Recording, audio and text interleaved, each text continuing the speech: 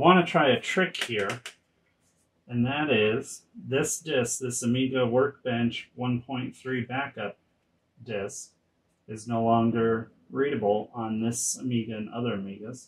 And anytime I try to initialize it or write to it, I get validation errors.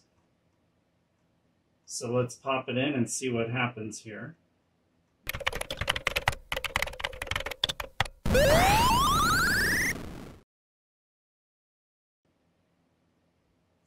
And there it is, the validation error I get. And I can retry all you want on this and others machines. And uh, same situation happens over and over.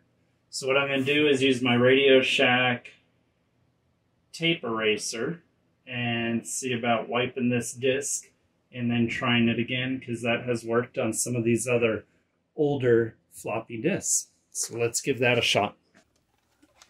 Alrighty, so let's try erasing this disk here.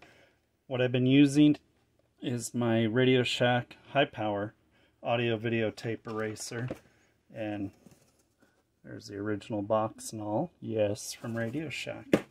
The good old days. So there's two ways I do this. The first way is I just do a few swipes on each side. Go try the disc. For some discs, that's all it takes. When they get real stubborn, I actually make contact with the disc and the eraser real fast. Because if you do it too long, you toast your disc. So the first way is, and you always want to hold this down, because otherwise it'll jump up to our magnet here is the three swipes. One, two, three. Then I'll flip it over and do the other side. One, two, three. And like I said, for a lot of discs, that's all it takes. How far was I from it? Probably about that far away. About an inch to an inch and a half, not far at all. Now on some other discs that are a little more stubborn, and this one I have a feeling is going to be that because I've already done the three swipes and it still kept the data on the disk. So in that, those cases, what I find I end up doing is I actually swipe right on the disk real fast. One swipe there, flip it over, and we'll do the other side. And there we go.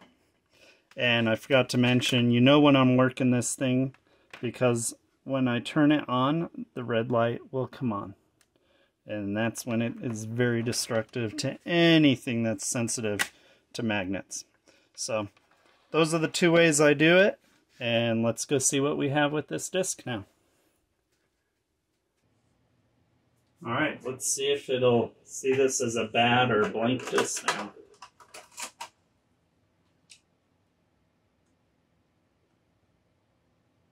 There it is, a bad disk. So let's see if we can initialize it.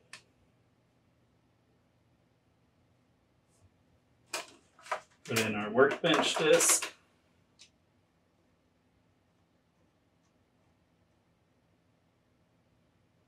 And now to put in our freshly erased backup workbench disk.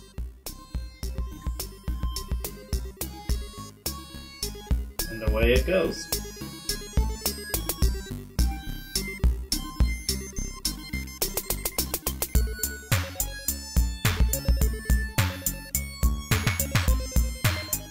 Cool. So, now have a usable disk in the fact that I can now copy or back up my Workbench 1.3 back onto this and it'll now be a functioning disk.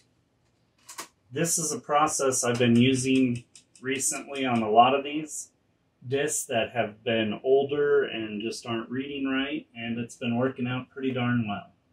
So I know other people have other ways of doing it where they'll take those bad discs and just chuck them in the garbage or maybe even try them on another computer. That was a trick I used to do where you format them over on a PC or even for the Atari ST and then bring them back here, and sometimes that would work. But I've had more luck doing it this way with that tape eraser. So now I will go ahead and copy our workbench over to that disk.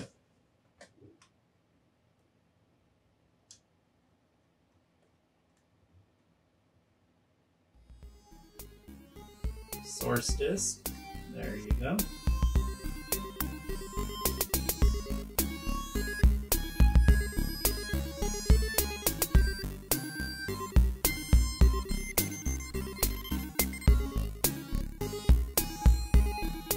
Just copy finished. Now we have a copy of Workbench. So let's see if we can use this Workbench to get this Amiga to boot up.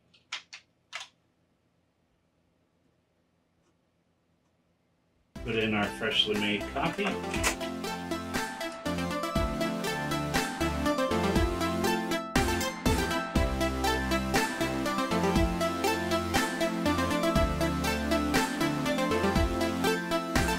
There we go. This is now a, once again, a fully functioning backup of Amiga Workbench 1.3, but more importantly, that cassette eraser really did a good job. It's done a great job from my experience on most floppies.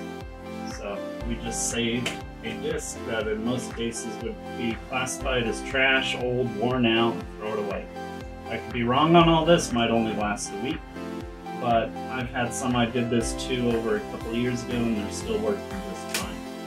So, hope that helps some of you out there that might be looking for a way to fix some of these old floppy disks. Thanks until the next time. Take care.